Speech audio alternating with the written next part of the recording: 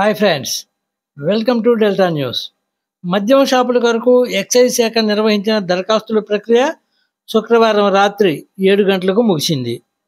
ప్రభుత్వం ఊహించిన విధంగానే ఒక్కో దరఖాస్తుకు రెండు లక్షల రూపాయలు సమర్పించి పెద్ద సంఖ్యలో పోటీపడి దరఖాస్తులు పెట్టారు ఆశావహులు.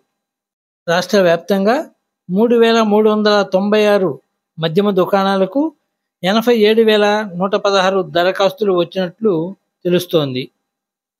ప్రభుత్వం ఊహించిన విధంగానే సుమారు పదిహేడు వందల కోట్ల రూపాయల ఆదాయం దరఖాస్తు రూపంలోనే వచ్చింది. కొన్ని జిల్లాల్లో కొన్ని షాపులకు సిండికేట్ ప్రభావంతో కానీ ఎలా అన్నా కానీ కొన్ని జిల్లాల్లో కొన్ని దుకాణాలకు సింగిల్ డిజిట్ దరఖాస్తులు మాత్రమే వచ్చాయి. దరఖాస్తుల్లో ఎన్టీఆర్ జిల్లా టాప్లో నిలిచింది. నూట పదమూడు షాపులకు ఐదు వేల ఏడు వందల నాలుగు మంది దరఖాస్తు చేసుకున్నారు. అలాగే అల్లూరు జిల్లాలో అత్యల్ప దరఖాస్తులు పదకొండు వందల డెబ్బై తొమ్మిది మాత్రమే వచ్చాయి.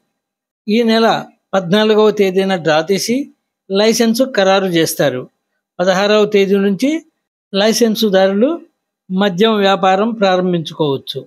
ఇక కొల్లిపర మండల విషయానికి వస్తే నూట పదహారవ నంబర్ షాప్పై ఇరవై రెండు అర్జీలు నూట పదిహేడవ నంబర్ షాప్పై ఇరవై అర్జీలు నూట పద్దెనిమిదవ నంబర్ షాప్పై ఇరవై మూడు అర్జీలు నూట పంతొమ్మిదవ షాపు నంబర్పై ఇరవై మూడు అర్జీలు వేశారు. అంటే మొత్తం నాలుగు షాపులకు గాను ఎనభై ఎనిమిది దరఖాస్తులు వచ్చినట్లు అధికారులు తెలిపారు.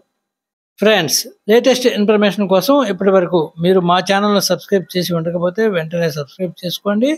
అలాగే లైక్ చేయటం మర్చిపోకండి.